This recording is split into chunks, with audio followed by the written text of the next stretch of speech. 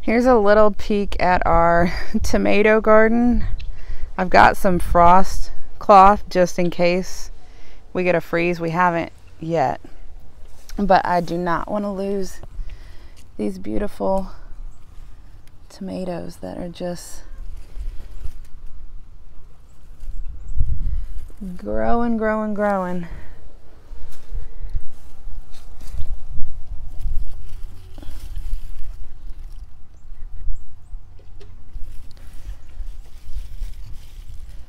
I may have to do some more fried green tomatoes again. I know my daughter will love that.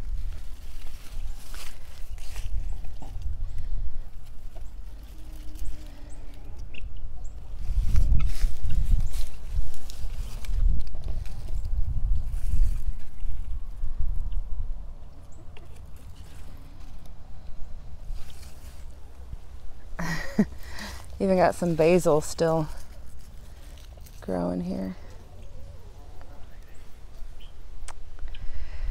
And there's not much going on in this bed over here. But the zinnias are still blooming.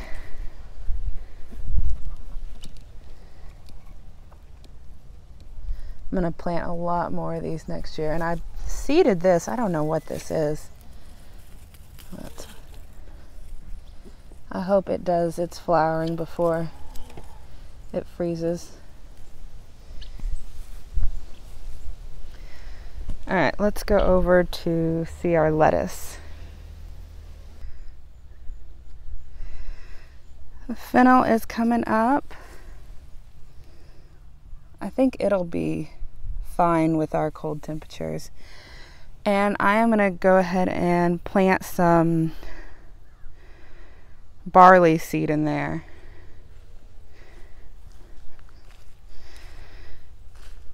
Still got some spinach trying to grow. My kale leaves are coming up slowly but surely.